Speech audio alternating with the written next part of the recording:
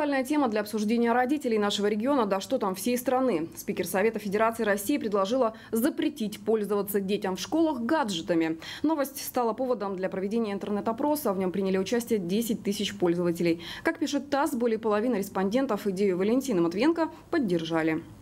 Согласно данным мониторинга, 38% родителей не против запрета гаджета, при условии, что это не распространится на кнопочные телефоны. Вообще то, что мобильный нужен ребенку в первую очередь для связи, а остальные функции приятное, но не обязательное дополнение, считают 90% респондентов. А вот каждый десятый родитель уже сейчас запрещает своим детям пользоваться любым сотовым в школе. Половина опрошенных разрешает использовать смартфон только на перемене. И если всероссийский опрос показывает, что приблизительно половина респондентов не возражают против гаджетов в школе, то в Иркутске картина несколько иная. Это мы поняли, проведя свое исследование. И вот мнение горожан.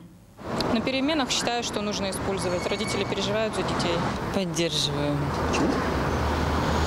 Чтобы они больше не знаю, учителю друг другу внимание уделяли они в интернете, как всегда. Я думаю, что да, как бы, чтобы меньше списывались, готовились к экзамену. Смартфоны они много очень играют как раз дома, а в школе они приходят, чтобы слушать учителя. Только на перерывах я бы разрешил, потому что это отвлекает детей, в принципе, от учебного процесса. Запретить стоит, потому что они отвлекаются, не учатся.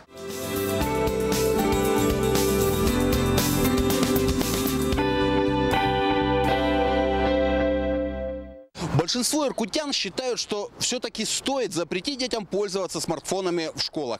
Лично я не согласен, потому что, ну, как можно запретить? А если запретить, то значит спровоцировать ребенка на попытку нарушить запрет.